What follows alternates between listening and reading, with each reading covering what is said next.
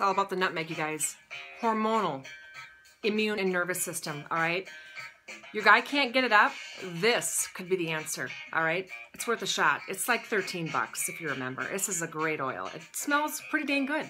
Um, it actually can increase your libido by 600%. Now, could you imagine that? I could. Amazing. Um, maybe you're sluggish and you, you need some adrenal um, help.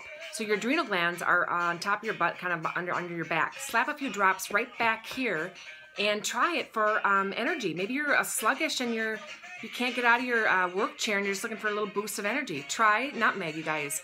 Helps regulate your periods. Maybe maybe you're just tired of, you know, uh, once a month, twice a month, and you're you're like this with your cycle. This is supposed to help regulate your periods. So worth a shot, right? Maybe your kids are maybe you're just at that age where you're just not sure if it's going to come this year or next year. I don't know. Um, worth a shot.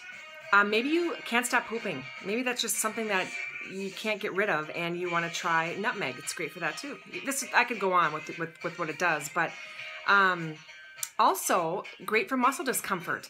You know, they're going to work the way they're supposed to work. So, you know, some people say this is their oil for muscle discomfort, um, and some people say is. So again, that's the beautiful part about essential oils, the therapeutic grade, is that um, they'll work for some people in a way that they won't work for others. And so if that doesn't work, then we just try a different oil. Because there's a lot of ones out there, there are a lot of oils for muscle discomfort.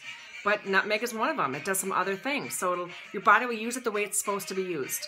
Um, maybe you feel like you have to throw up and you're you just don't want to do that. And so maybe you need to sniff this, you know, just take a few huffs, sniff or put on your stomach or, um, you know, take it internally, put a drop on your tongue and maybe that'll work. So anyway, that's my two cents on nutmeg.